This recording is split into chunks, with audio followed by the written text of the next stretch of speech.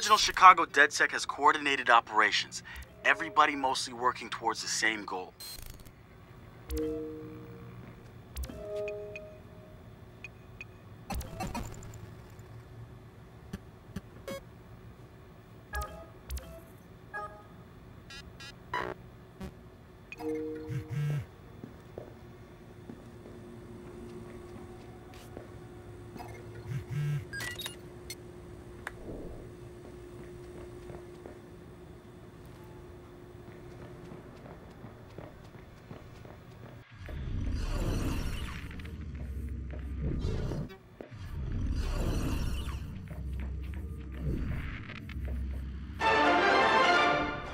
Coming up after the break, we'll be sitting down with a former street artist.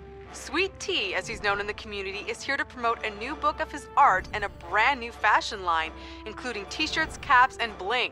Very exciting stuff.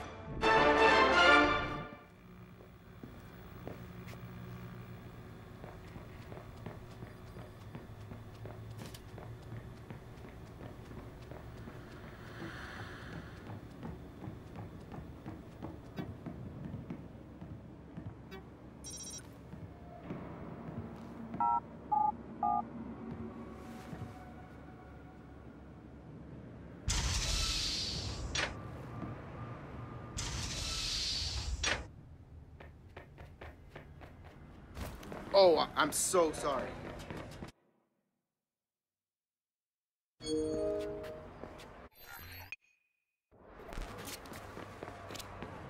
The app's downloaded and I'm in the park. What am I testing? Start profiling things around you people, devices. See what you can pull from them. That's what helps us figure out our next ops. And running ops that are important to people is how we get them interested in DedSec. The more followers download our app, the more intel we get. It's the circle of life. Oh, and see if you can find some components to help us with our research. Hipster merchant The app is your data mining tool. of death. Okay, okay, I got this. So what now? Up to you, man. You're free to do whatever catches your eye. We post ops to the DedSec app, and doing them helps us get followers. And followers are our Skrilla. Followers mean computers, which boosts our processing power, which lets us do bigger and badder ops. Hey, so what's this about Bobo Dakes? You know Bobo's working on a new album, right?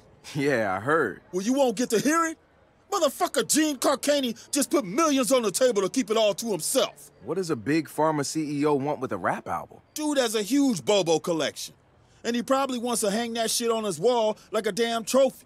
It's just rubbing his money in our faces, bruh. Do you know if Bobo took the deal? He hasn't announced anything yet, but he will. It's a lot of cash. And maybe there's still time for an intervention. Time for what?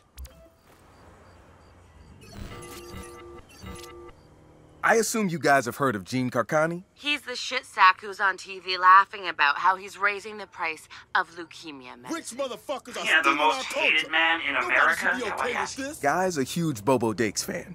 Must have read Bobo's in town recording new tracks because he's offering millions to keep the album to himself. So stupid. Bobo will never go for it. The real one won't. So we're gonna do it for him. I'm gonna visit Bobo and see if I can borrow some of his new tracks as proof that we're legit. How do we contact Carcani? I need you guys to run through interviews, podcasts, whatever. Find me some usable lines. We're gonna make a soundboard. Ooh, I